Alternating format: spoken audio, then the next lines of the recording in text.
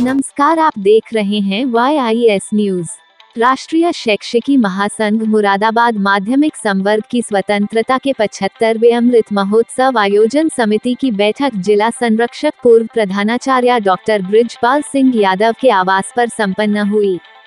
जिसमें मुरादाबाद के 75 माध्यमिक विद्यालयों में 1 अगस्त 2022 को स्वतंत्रता का अमृत महोत्सव आयोजन कर भारत माता के चित्र पर पुष्पार्चन कर विभिन्न कार्यक्रमों के माध्यम से स्वतंत्रता आंदोलन के वीर वीरांगनाओं के त्याग, तपस्या व बलिदान को विद्यार्थियों, शिक्षकों व जनमानस तक पहुँचाया जाएगा। तेरह जुलाई को जगत गुरु महर्षि वेद व्यास जी के जन्मदिन गुरु पूर्णिमा के पर्व पर पौधारोपण कर पर्यावरण संरक्षण का संकल्प लिया जाएगा व शैक्षिकी उन्नयन संगोष्ठी का आयोजन कर गुरुवंदन विद्यार्थी अभिनंदन किया जाएगा। प्रदेश उपाध्यक्ष जोगेंद्र पाल सिंह ने कहा कि राष्ट्रीय शैक्षिकी महासंघ ने देश भर में सभी कार्यक्रमों में किसी भी प्लास्टिक उत्पाद का प्रयोग न करने का संकल्प लिया है।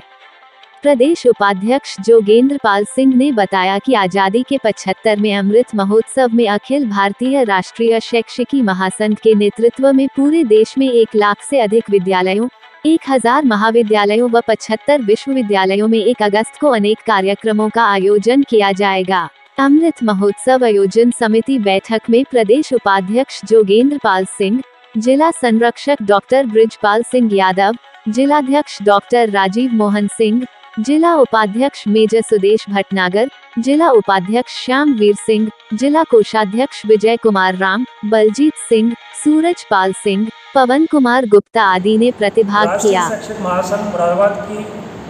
स्वतंत्रता के पिछहत्तरवें अमृत महोत्सव आयोजन समिति की बैठक। आज राष्ट्रीय शैक्षिक महासंघ के जिला संरक्षक पूर्व प्रधानाचार्य आदरणीय डॉक्टर ब्रजपाल सिंह यादव जी के आवास पर संपन्न हुई। आयोजन समिति की बैठक में राष्ट्रीय शैक्षिक महासंघ के पदाधिकारियों ने आज ये निर्णय लिया है कि पूरे देश के अंदर राष्ट्रीय शैक्षिक महासंघ एक अगस्त को एक लाख से भी अधिक विद्यालयों में भारत माता का पूजन कर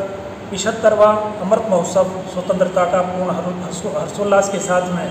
मनाएगा। इसके निमित्त मुरादाबाद के भी पूरे ज़िले के माध्यमिक विद्यालयों में, डिग्री कॉलेजों में, बेसिक के विद्यालयों में राष्ट्रीय शैक्षिक महासंघ स्वतंत्रता के पिछहत्तरवें अमृत महोत्सव पर विभिन्न कार्यक्रमों का आयोजन करेगा। एक अगस्त को एक साथ समस्त विद्यालयों में राष्ट्रीय शैक्षिक महासंघ भारत माता के चित्र पर पुष्पार्चन कर, भारत माता का पूजन, अर्चन कर, स्वतंत्रता पर अपना सर्वस्व निछावर करने वाले वीर वीरांगनाओं का पुण्य स्मरण करेगा। विद्यार्थियों और जनमानस की सहभागिता करते हुए जन जन तक आज़ादी के वीर बलिदानियों का, जो त्याग तपस्या बलिदान का इतिहास है, उसे पहुँचाने का काम राष्ट्रीय शैक्षिक महासंघ मुरादाबाद करेगा। इसी श्रृंखला में अभी तेरह जुलाई को जगत गुरु महश्री वेद व्यास जी का जन्मदिन है, उस पर राष्ट्रीय शैक्षिक महासंघ अधिकांश विद्यालयों में पौधारोपण करके पर्यावरण सुरक्षा का, संरक्षण का संकल्प लेगा। पौधारोपण बड़े स्तर पर राष्ट्रीय शैक्षिक महासंघ के पदाधिकारी विभिन्न विद्यालयों में तेरह जुलाई को गुरु पूर्णिमा के पावन पर्व पर करेंगे। इसके साथ ही जुलाई के अंतिम सप्ताह में मुराबाद महानगर में एक बड़ी संख्या का कार्यक्रम शिक्षकों, जनमानस और विद्यार्थियों को इन्वॉल्व करके समाहित करते हुए किया जाएगा। इसमें गुरुवंदन और मेधावी विद्यार्थियों का अभिनंदन किया जाएगा। शैक्षिक संगोष्ठी का आयोजन किया जाएगा। इसके साथ ही पूरे देश के अंदर एक लाख से अधिक विद्यालयों में इस तरह के कार्यक्रम होंगे।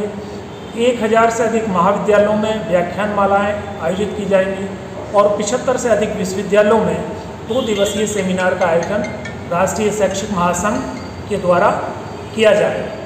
तो इसकी पूरी योजना रचना आज की इस आयोजन समिति की बैठक में बनाई गई और पूरा राष्ट्रीय शैक्षिक महासंघ मनोयोग के साथ में, हर्षोल्लास के साथ में स्वतंत्रता का पिछहत्तरवा अमृत महोत्सव अभी एक अगस्त को